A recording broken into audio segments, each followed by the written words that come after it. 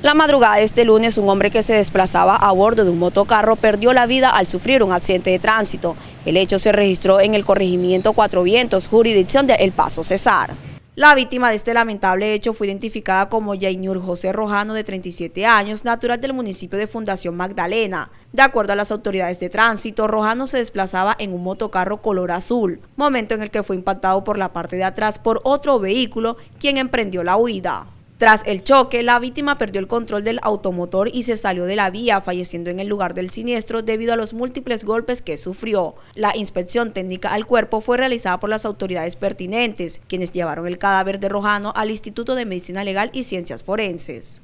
Amaneces mucho antes que el sol y conviertes la tierra en frutos y el fruto en futuro. Agroseba, almacén agropecuario Ofrecemos herbicidas, abonos, melaza, alambre de púas, semillas, sales mineralizadas, mangueras agrícolas, accesorios para cercas eléctricas, sogas, talabartería, medicamentos veterinarios, vacunas, concentrados, palmistes y todo lo relacionado con insumos agrícolas. Nuestra atención veterinaria para tu mascota es preferencial. Aquí encontrarás vacunas y medicamentos. Canal para atención personalizada y soporte técnico al cliente. WhatsApp WhatsApp 301-603-7088. Ven y visítanos. Contamos con todos los protocolos de bioseguridad. Para tener el gusto de atenderlo, estamos ubicados en la calle 20, número 11211, en el sector del mercado público en Valledupar.